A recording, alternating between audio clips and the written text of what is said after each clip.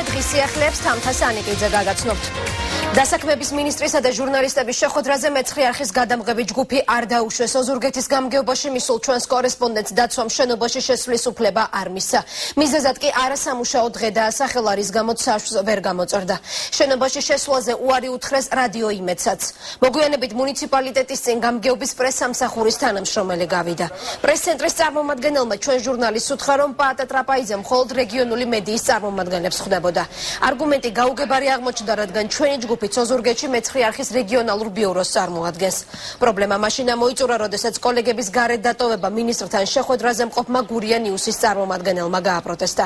ამის შემდეგ გარეთ თავად პაატა ტრაპაიძე გავიდა და ჟურნალისტები შენობაში შეიყვანა.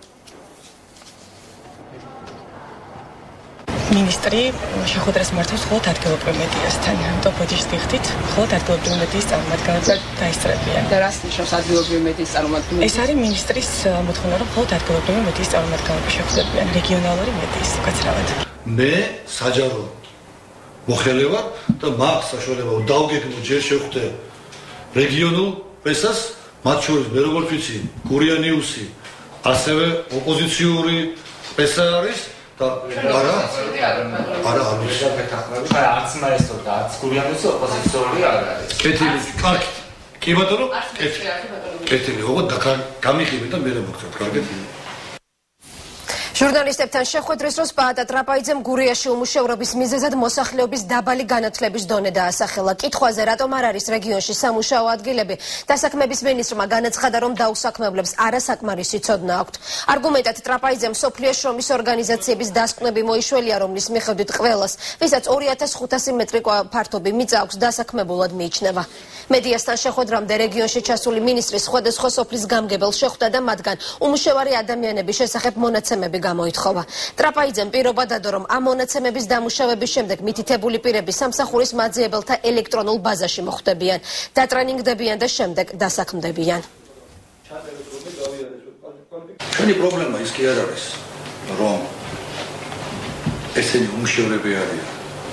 ისინი უბრალოდ ვერ მუშაობენ ნაყოფიერად თავის მიწას. ჩვენი ყველაზე დიდი პრობლემა არის სოდნის არქონა. სოდნის არქონა სოფლის მეურნეობაში. ჩვენ ვერ ვაკეთებთ და ვერ ქმნით იმ პროდუქციას, რომელიც კონკურენტუნარიანია საქართველოს ბაზარზეც კი. დღეს ბიზნესი ეძებს სამუშაოს ხალხს ვერ ნახულობს. მე პირადად ოსული ვარ 20 დღეა ბიზნესიდან. ვეძებ ხალხს და ვერ ნახულობ. ვერ აკმაყოფილებს ჩვენი მოსახლეობის ძალიან დიდი ნაწილი იმ კვალიფიკაციას, რომელიც საჭირო არის ჩემო კაკო. იმეცი გასაკეთებლად ბიზნესის 1 2 3 4 საწევიდეს თუ. ვიშ. საწევივი დაქრა. საწევივი დაქრა. იმიტომ რომ ხალხმა არც იცის ბიზნესის კეთება. მოსახლეობის დასაქმებაზე პოლიციაში საუბარი. რომ მოსახლეობა ძალიან შეჭრებული არის და მას დახმარება გაუწიოს. მოაწებინოთ ყველაზე მთავარი არის განათლება, ინფორმაციის მიღება. ანგარიშებს კარდაკარის კიდევ ერთ მონაწილეს უყადაღებენ. ტარიელ თევზაძეს პროგრედიტ ბანკში გახსნილი ანგარიში გაყინული დახვდა. ბანკის ოზურგეთის ოფისში დაზარალებულს განუმარტეს, რომ ანგარიშზე დარიცხულ თანხას ყადაღა საქალაქო სასამართლოს გადაწყვეტილებით დაადეს. თევზაძე ამომრჩეველთა სიების დაზუსტების პროგრამა კარდაკარის მონაწილე იყო. უშამქია, მეტი აღწია. უშავდი მაგიო ჩემი გაზვალებოდა ვინმესთვის პროგრედიტის ბანკის ბუღალტერმა ჩემი პირადი მოწმობის საფუძველზე ამოიღო მონაცემები და მითხრა რომ ეს ანგარიშები დაყადაღებული არის თბილისის საქალაქო სასამართლოს მიერ. ამიტომ ვერ მივიღე კუთვნილებას. დღის განმავლობაში ველოდებით რომ მივიღოთ კიდევ უფრო ოპერატიული ინფორმაცია. ვფიქრობ, რომ ალბათ ჩვენთანაც იქნება ეს საერთოდ თელი საქართველოს მასშტაბით მიმდინარეობს ალბათ ხელისუფლების მხრიდან აი ეს აქცია. იგივე პრობლემა ლანჩხუთში წორშებათიდან ქართული ოცნების ლანჩხუთის შტაბის წევრები საქართველოს ბანკის ადგილობრივ ოფისთან ჯდომარე აქციას იწყებენ. 83 ადამიანს პირად საბანკო ანგარიშზე 999 მილიონ 999 ლარიანი ჯარიმა ეკისრებათ.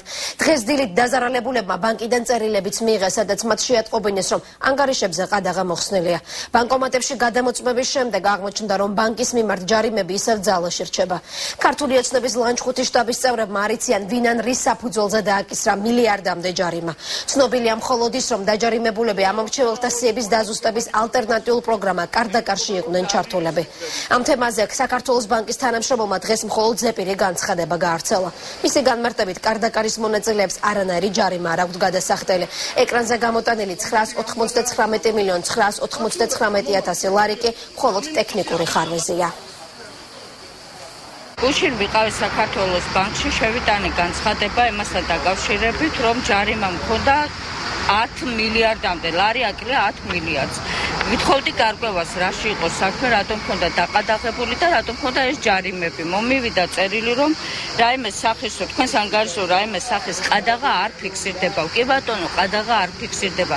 შევამოწმე ახლა ამ წუთში ბანკომატზე ისევე ისე ლარი აკრია 10 მილიარდს.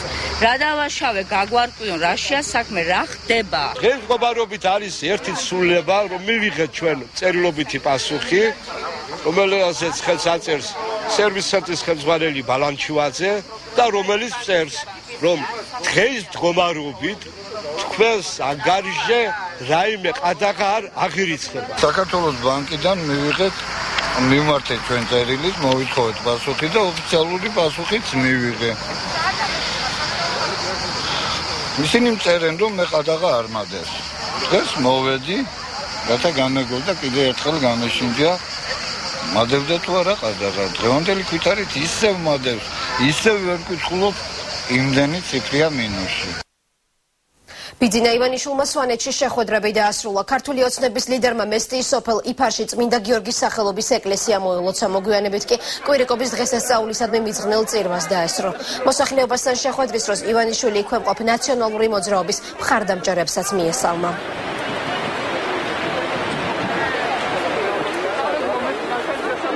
ჩვენი კორესპონდენტი პატა ლაგულავა იმყოფება სვანეთში და ის ახლა მესტეიდან ჩაგორთვება ეთერში და ივანიშვილის შეხვედრებზე მოგვიყვება პატა გისმენთ თამთა ბიძინა ივანიშვილმა მესტიაში ვიზიტის მეორე დღე წმინდა ადგილების მოლოცვას დაუთმო.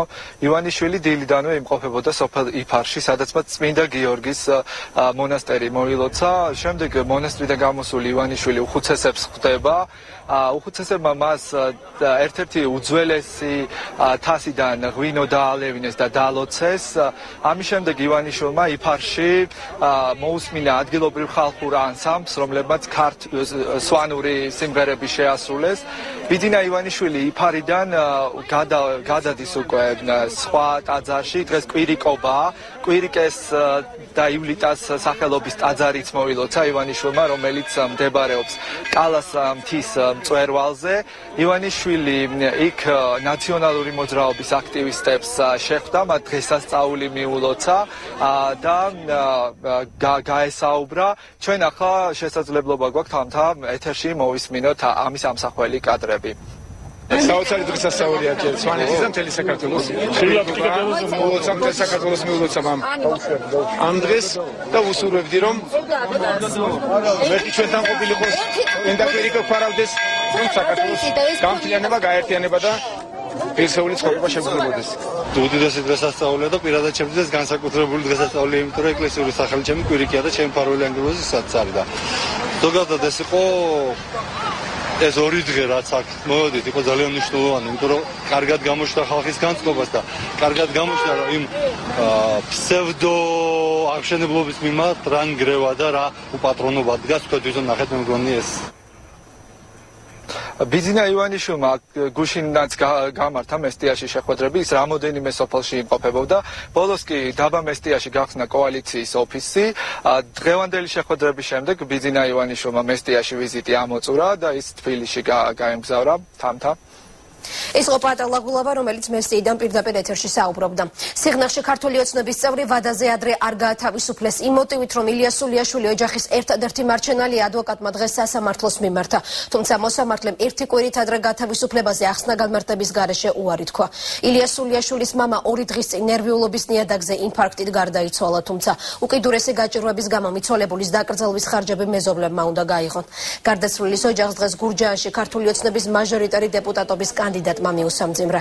მანანა ბერიკაშულმა ილია სულიაშვილის დაკავებაზეც ისაუბრა და ფაქტს უკანონობა უწოდა. შეგახსენებთ, რომ სულიაშვილი სამი კვირის წინ დააკავეს.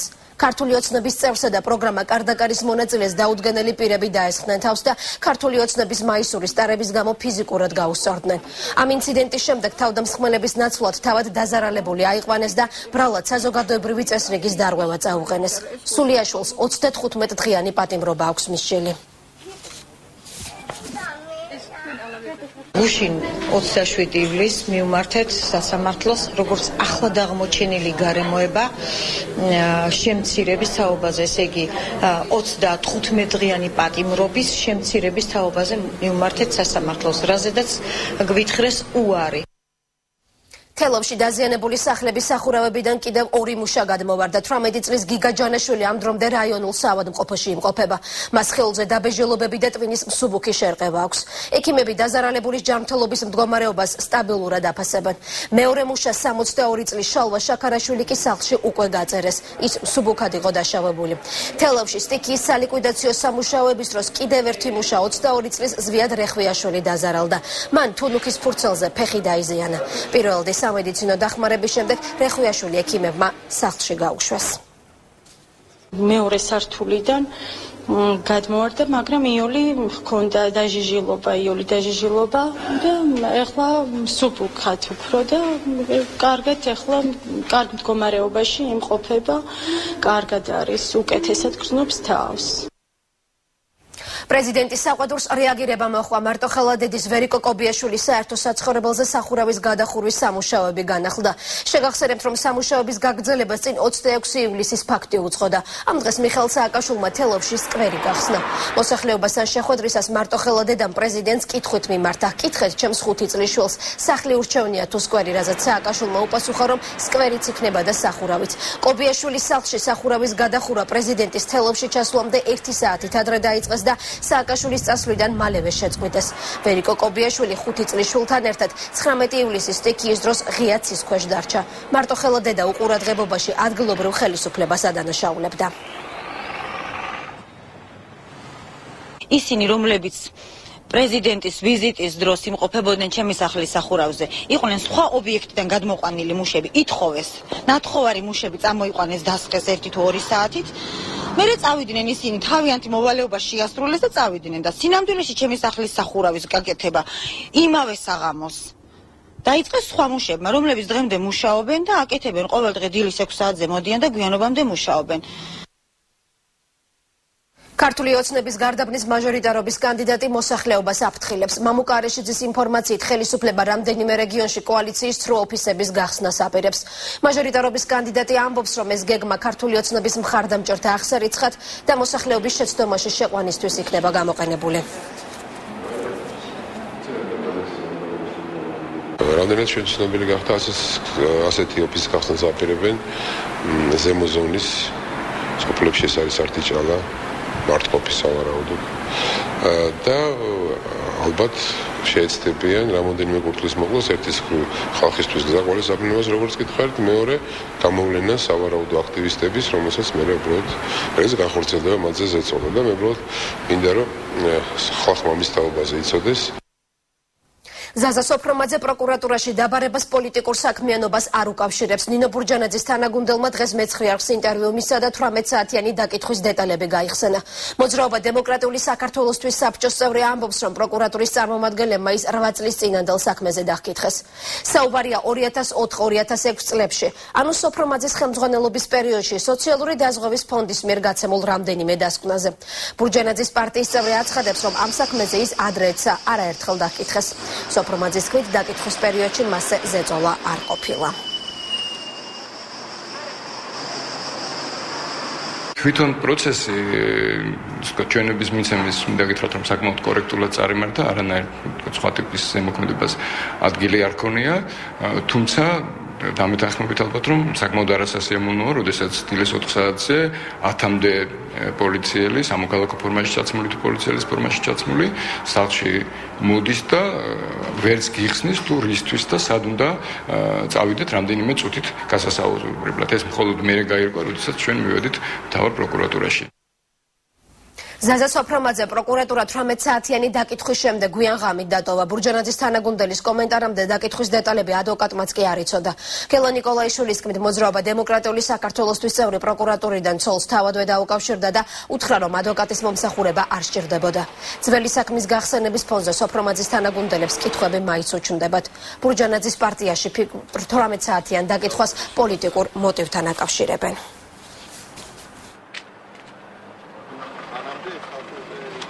ის რა შეკითხებსაც უსვამდნენ მას კავშირი მის პოლიტიკურ მოღვაწეობასთან არ ქონდა, თუმცა ჩვენ მაინც ვთვლით, რომ ეს იყო პოლიტიკური აქტი, ვინაიდან ზაზა არის ერთ-ერთი ლიდერი ჩვენი პარტიისა, ამიტომ ის საქმიანობა, დღევანდელი საქმიანობა დაკავშირებულია პოლიტიკურ პარტიასთან. წუხელ დაახლოებით 10 საათი იქნებოდა, ალბათ 10 საათი ხდებოდა, როდესაც მე მან დამირეკა და მითხეს, რომ აეხლა ხან გამათავისუფლეს და დეტალებზე ჩვენ არ გვისაუბრია, შევთანხმდით, რომ შევხვდებოდით და მე ვისაუბრებთ, მაგრამ ნუ რა ლოგიკურად შეგვიძლია დავაწყუნათ, რომ რადგანაც ის მაინც გამოუშვეს გუშინ, მისთვის ბრალი არ წაუყენებიათ, ესე იგი ის მართლაც მოწმის სტატუსით იკითხებოდა ქართულ ბანკი ორშაბათ სასამართლოს მიმართავს. ნოდარ ჯავახიშვილი ხელშეკრულების გაუქმებას მოითხოვს რომლითაც დროებით მამმართველმა ვლადიმერ უგულავამ 4 ბიზნეს ჯგუფზე 50 მილიონი დოლარის სესხის გაცემის ვალდებულება აიღო. 31 ივლისამდე გასაცემის საკრედიტო თანხა ბანკს არ გააჩნია რის გამოც ქართულ გაკოტრების საფრთხის ქვეშა. ჯავახიშვილი ამბობს რომ სასესხო ხელშეკრულებები პროცედურების დარღვევით არის გაფორმებული. მიზანი კი სისტემის გაკოტრება და ლიკვიდაცია. უგულავას მიერ აღებული ვალდებულებების არ შესრულების გამო ქართულში შესაძლოა ეროვნული ეროვნული ბანკის ადმინისტრაცია შევიდეს. სახელმწიფოს მიერ დროებით დანიშნულ ვლადიმერ უგულავას იძულებითი ორკვირიანი მართლობა ხუთშაბათს დასრულდა.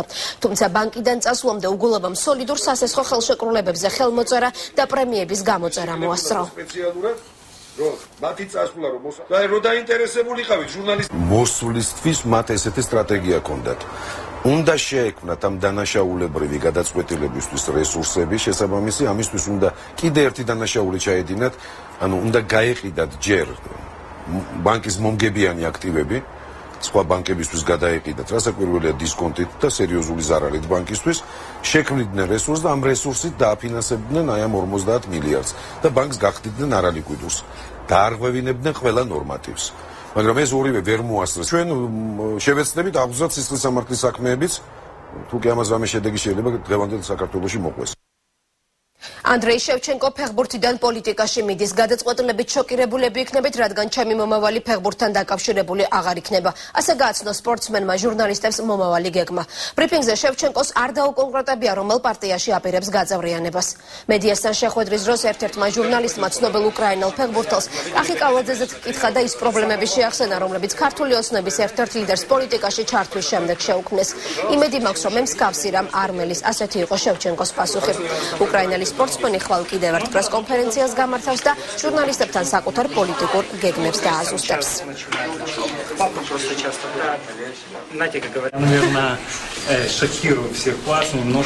ჩემი გადაწყვეტილებით ალბათ შოკირებულები იქნებით. ჩემი მომავალი აღარ იქნება ფეხბურთთან დაკავშირებული. ხვალ ამის შესახებ მოგაწვდით ინფორმაციას. პირდაპირ მოგახსენებთ, რომ ეს პოლიტიკასთან იქნება დაკავშირებული. ამიტომ თქვენი მხარდაჭერის იმედიც მაქვს. კახიკალაძეს პოლიტიკაში წასვლისთვის ანგარიშები დაუყადაღეს. Я буду надеяться, что იმეც ვიქონიებ, რომ ჩემს შემთხვევაში ასეთი რამ არ მოხდება. ცემა ძალადობა მუქარა და ივანიშვილის გინების მოთხოვნა ქართული ოცნების მხარდამჭერი ციხეში მასზე ზეწოლის კონკრეტულ ფაქტებს ახმაურებს. კახაბერ გოგიაშვილი საგარეჯოს იზოლატორიდან წერილს აგზავნის და მთავარ პროკურორს სახალხო დამცველსა და გიგა ბოკერიას დახმარებას თხოვს. პატიმარი სასჯელ აღსრულების დაწესებულების თანამშრომლებს ძალადობაში ადანაშაულებს და საკანში მისთვის შექმნილ მძიმე პირობებზე წერს. წერილი კახეთის საინფორმაციო ცენტრმა გაავრცელა. გოგიაშვილი, რომელიც 12 ივლისს კარალეთის ინციდენტის შემდეგ აიყვანეს პროტესტის ნიშნად მე-11 დღეა შეშიმშილობს. ქართულმა ოცნებამ გოგიაშვილის საქმე უკვე გაასაჩივრა, თუმცა საჩივარს რეაგირება არ მოხოლია. კოალიციის უფლებათა დაცვის კომიტეტის თავმჯდომარის თქმით, მას შემდეგ რაც პატიმარმა ძალადობის ფაქტები გაასაჯაროვა, მის მიმართ დამოკიდებულება შეიცვალა, თუმცა მუქარა მაინც არ შეწყვეტილა. კახაბერ გოგიაშვილის საქმით დაინტერესებულია ახალგაზრდა იურისტთა ასოციაციაც. ორგანიზაციამ მთავარ პროკურორსა და შინაგან საქმეთა სამინისტროს განცხადებებით მიმართა.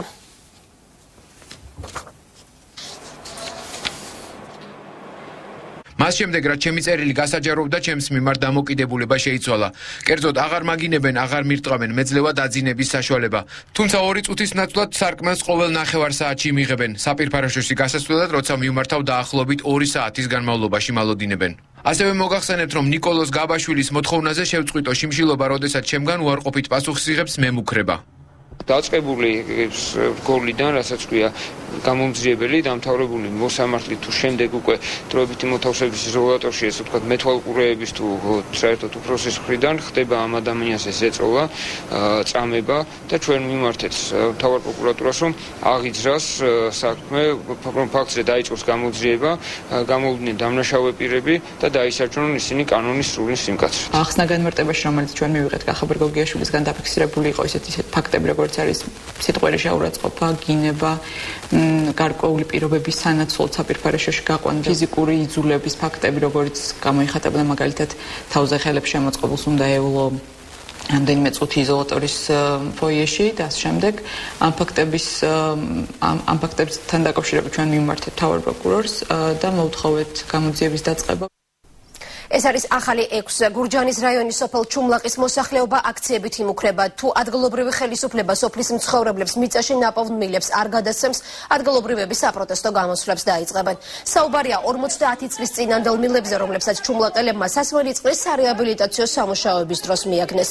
მოსახლეობას უნდა რომ მილები სანიაღვრე არხების მოსაწყობად გამოიყენოს და ამით წყალდიდობის დროს სახლები დატბორვისგან დაიცვას. თუმცა ადგილობრივ მუნიციპალიტეტში ამბობენ რომ ჯერ ისევ გასარკვევია ვის ბალანსი აღრიცხული მიწაში ნაპოვნი ძველი მილები.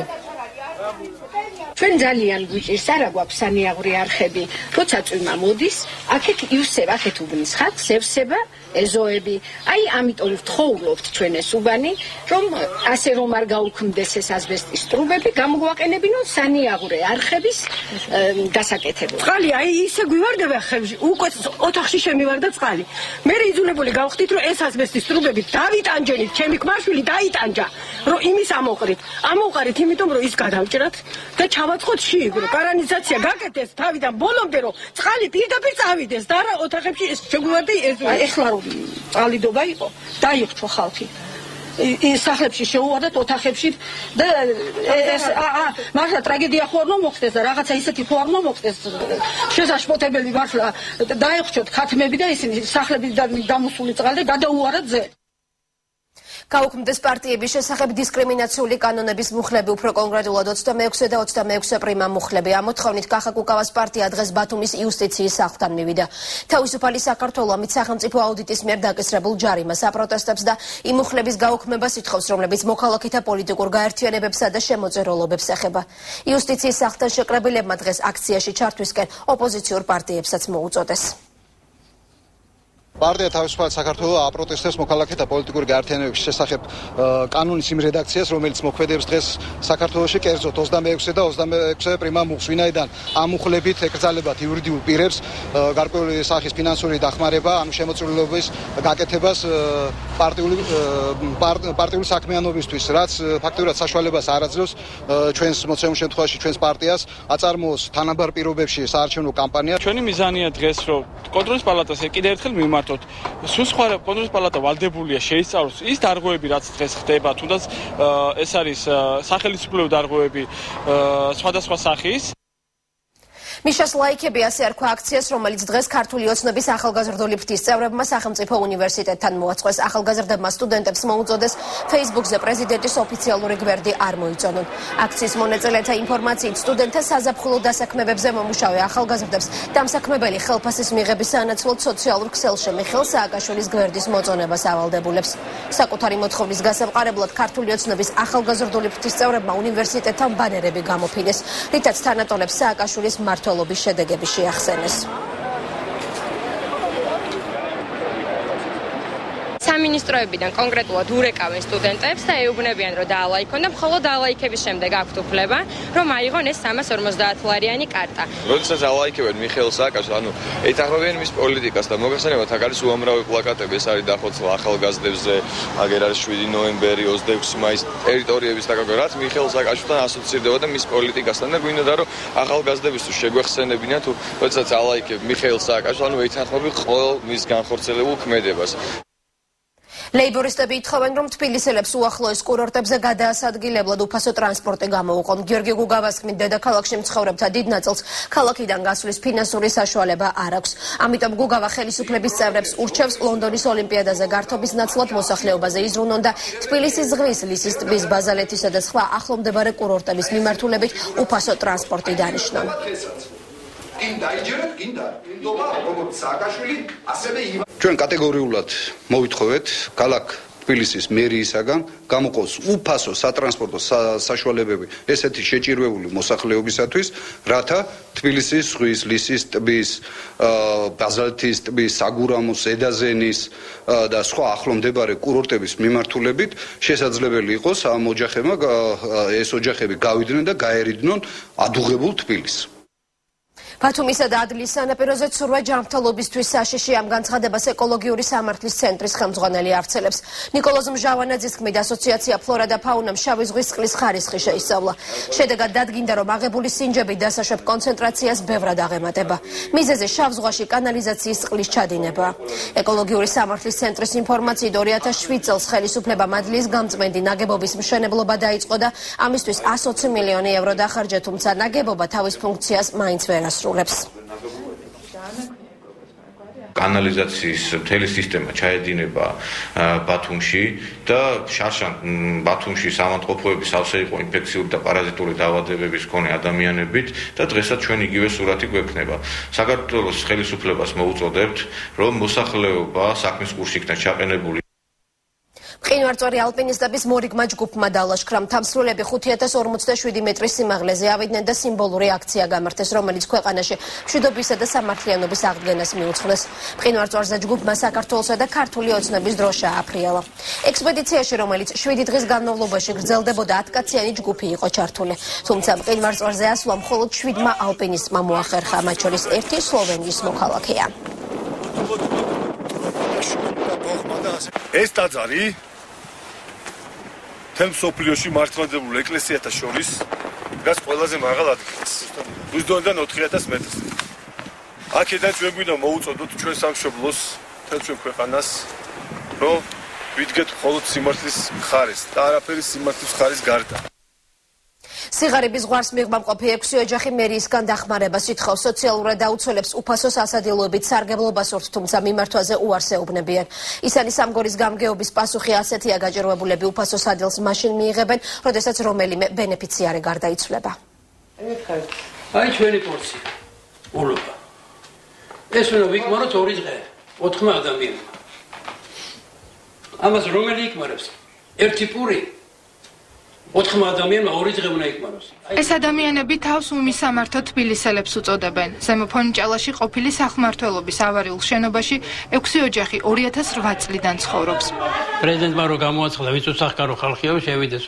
ფუჩაჩი ვათენებდით საზგურზე, როსთავერზე პარლამენტის შენობის წინ, წვიმაში უბედურობაში. და უმირო დაიწყო მე შემოეთაკა. და ცხოვრობთ ესე. გაჭირვებლა როგორც გარეთაწვიმს ეს სახში წვიმს ექვსივე ოჯახი უფასო სასადილოში იყვება, სადაც ორ სულზე მხოლოდ ერთ უფას ადილს იღებენ. მერიასა და სხვადასხვა სახელმწიფო სტრუქტურებს არაერთხელ მიმართეს, თუმცა პირობების გაუმჯობესება და საცხოვრებლის დაკანონება დღემდე ვერ შეძლეს. დახმარებისთვის საერთოდ საცხოვრებელზეც და ყველაფერზე მოკლედ ალბათ ჩვენი განცხადებები დასტა დასტა ალაგია იქ გამგეობაში გინდათ, მერიაში გინდათ თუ სულ ყველგან, მაგრამ იქნება, იქნება გვეუბნებია, როდის იქნება, როცა მოკვდები, მაშინ იქნება ალბათ. ხო და მე აღარ მინდა, არც იკვდილ მინდა და არც იმათი საჭმელი. გამგეობაში ვიყავი, ერთი ქალბატონი ლუბა იქა, სოციალურ განყოფილებაში. მე რომ მივედი უთხარი, ასე ორი ადამიანის პულოფას ვიღებ. ოთხი სული ვარ ოჯახში. რა ვქნა ძრო? ჩემშელის ვიხოცებით, კაცო, ფერზე ვეღარ ვდგებით. სანამ ვინმე არ მოკვდება, ვერ ჩაქსვამთ.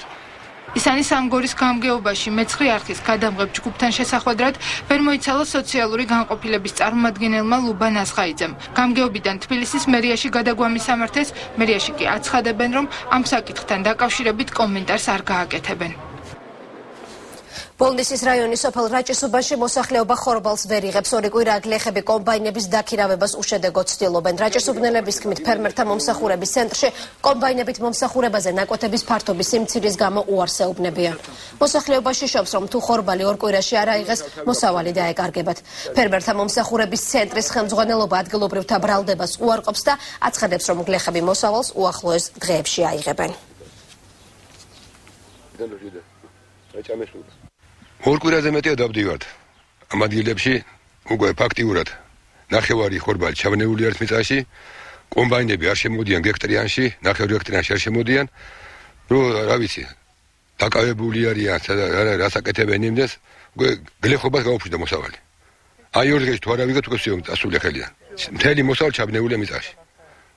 მე არ ვიცი ვის მიმართოთ როგორ მივაკითხოთ არ ვიცი ანუ რაც აღება დაიწყო მის მერე დაეძებენ კომბაინს და ვერსად ვერ ვიშოვეთ კომბაინი დადის და დღეს იქნება ხვალ იქნება დღეს აქამდე მოვიდა და ხვალ შეგპირდნენ და ხვალ იქნება არ იქნება ეგეც საკითხავიანის არიან მაგ რაჭიშუბაში ადამიანები მე შემიძლია წამოვიდე და გაჩვენო მაგათი აღებული ფაქტები არა ერთი ადამიანის არამედ 10-ის და 15-ის რომელსაც აქვს ეგეთი ზუსტად წვრილი ნაკვეთები. 1000 მეტრიანები და 2000 მეტრიანები და ხა ეს არის აბსურდი და ტყუილი რასაც თქვენ გეუბნებიან თავისუფალი საქართველოს ლიდერი რეინჯერ მერაბ არევაძის მკვლელობის გამოძიებას ითხოვს 50 წლის არევაძე 19 მაისს ბორჯომ ხარაგაულის პარკში დაღუპული იპოვეს. კახა კუკავა ამბობს, რომ მკვლელობა ხარაგაულის პოლიციის მაღალჩინოსნის ნათესავებმა ჩაიდინეს, რომლებიც პარკში უკანონოდ ნადირობდნენ. პარტიის ლიდერს ეჭვი აქვს, რომ ამ მიზეზით დამნაშავეები შესაძლოა დაუსჯელნი დარჩნენ. საქმეზე სასამართლო პროცესი 9 აგვისტოს არის დანიშნული.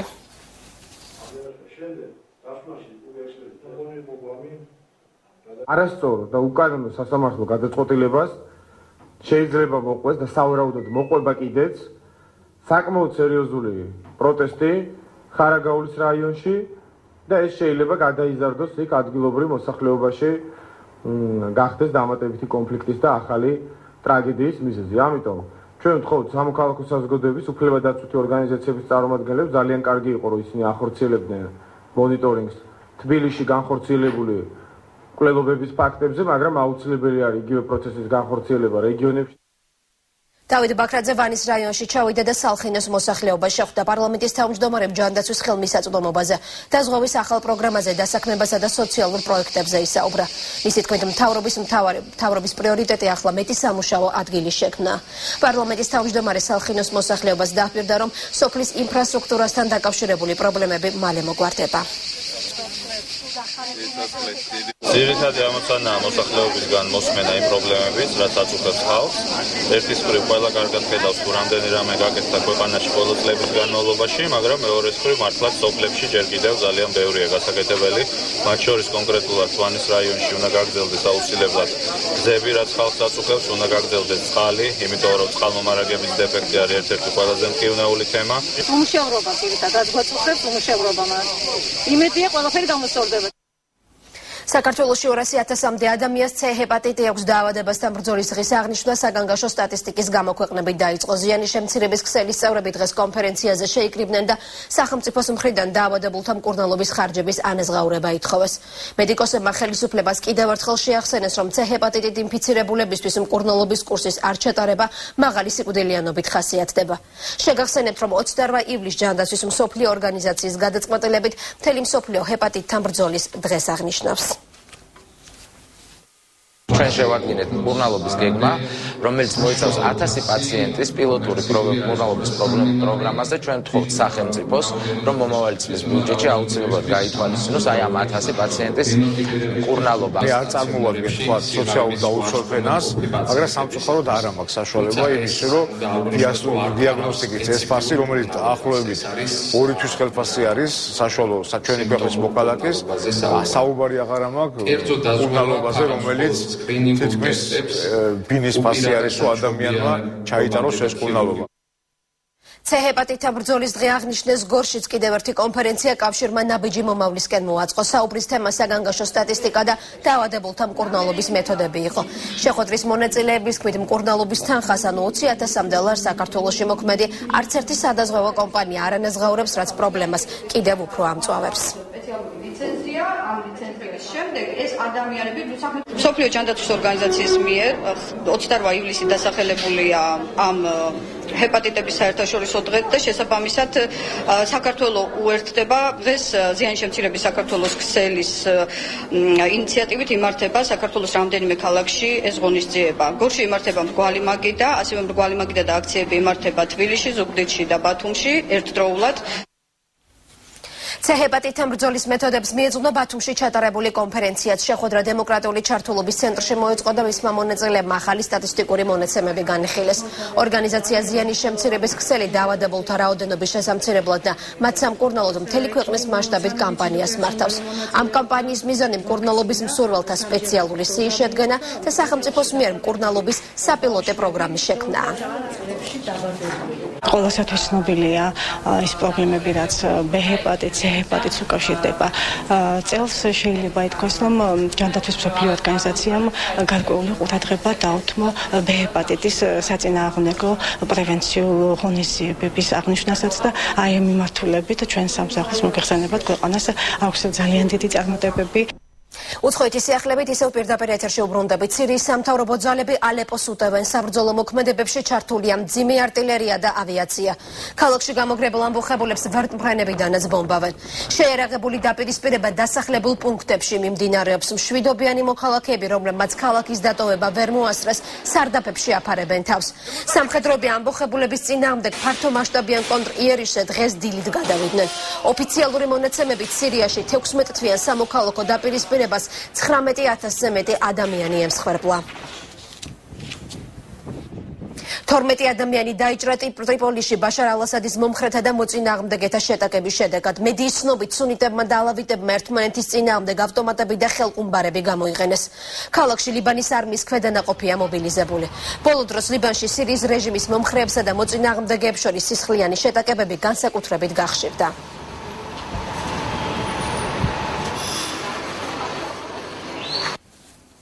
ტაჯიკეთში ვითარება ისევ დაძაბული რჩება. ბოლო ინფორმაციით მთიანი ბადაშხანის ავტონომიურ ოლქში ბანდფორმირების წევრებმა პროკურატურის ხუთი თანამშრომელი მძევლა დაიყვანეს. მეექვსე დღეა რეგიონში ბანდფორმირების წინააღმდეგ ფართომასშტაბიანი სპეცოპერაცია მიმდინარეობს. ორივე მხარეს არიან დაღუპულები. სამთავრობო ძალები ოპოზიციური სამხედრო დაჯგუფების ყოფილი საველე მეთაურის ტოლიბ აინბეკოვის შეპყრობას ცდილობენ. ის უშიშროების სამართლოს უფროსის მკვლელობაშია ეჭმიტანილი.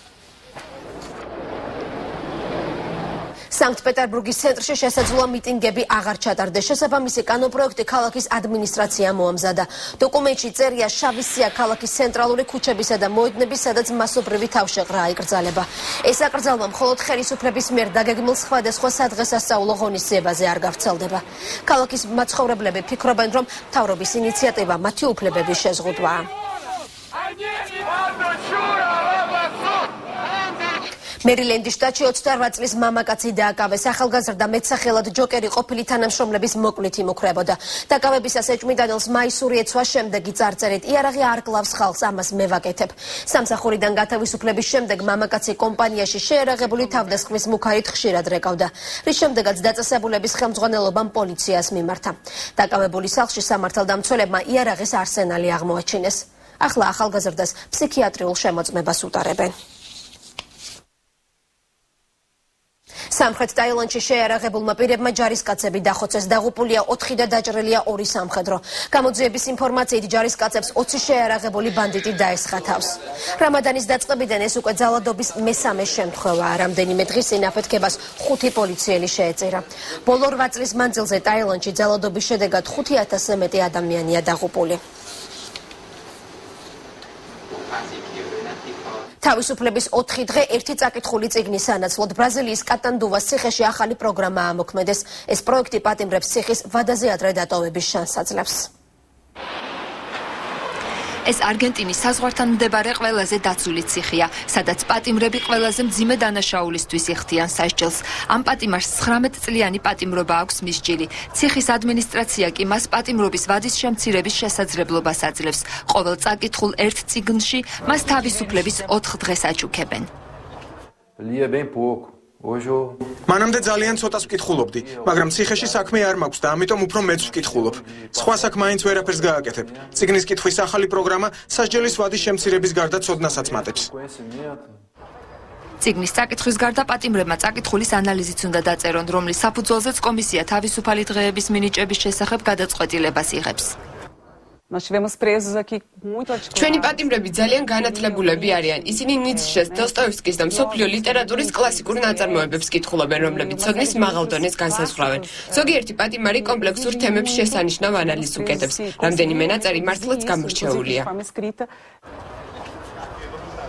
ციგნის კითხვის გარეშე ცხოვრება ამ ციხეში ძალიან რთულია. პატიმრებს საკნის დატოვების უფლებას დღეში მხოლოდ 2 საათით აძლევენ. ასეთ პირობებში კი კარგი ციგნი რეალობიდან მოწყვეტის კარგი საშუალება უნდა იყოს. ჩინეთის ქალაქ ქიდონგში გარემოს დამცველები ადგილობრივი მთავრობის სახლში შეიჭრნენ დემონსტრანტებმა დაამტვრიეს კომპიუტერები და დააზიანეს მანქანები. აქციის მონაწილეები ადგილობრივი ხელისუფლებისგან ქარხნის მილსადენის გაუქმებას ითხოვდნენ. მათი აზრით ნარჩენები სანაპირო ზოლის დაბინძურებას იწვევს. აქციის 1000-მდე მონაწილე ქალაქის ქუჩებში მთავრობის საწინააღმდეგოდ რამდენიმე საათის განმავლობაში სკანდირებდა. პასუხად კი მთავრობა აცხადებს, რომ საწარმოო ნარჩენები ქალაქს არ აბინძურებს.